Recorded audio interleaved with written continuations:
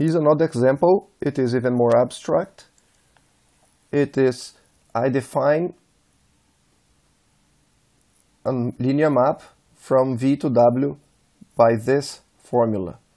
So it's for every V, it assigns this number here. So it takes V, computes the inner product with a fixed vector U, and that, that gives a number, multiply that number by a fixed vector X, and this defines my map T.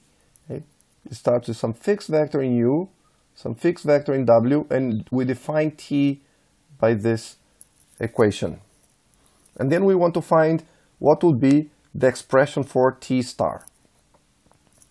So again, we start with TVW and we want to end get some on in the end something that has V on the left and whatever we find on the right that will be the T star W and with the inner product in W here and the inner product in V here.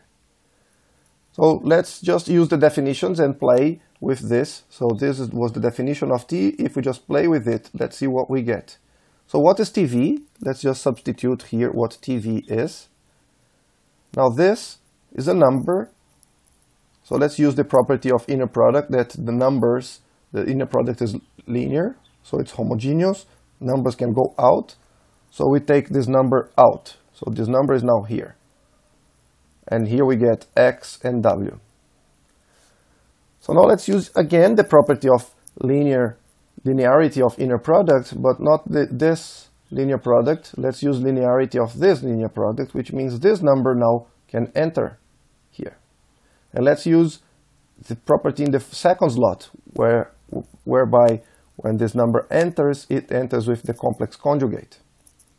So this finally equals v x w conjugate w times u.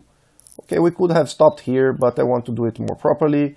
So let's flip x and w so we get rid of this conjugate.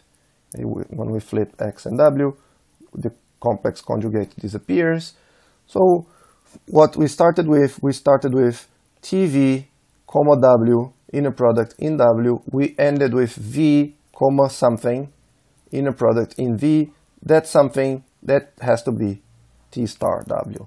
So we have found what t star is. That's the formula for t star. It takes a vector, computes the inner product of that vector and x, multiplies that number by u, that gives us a vector in v.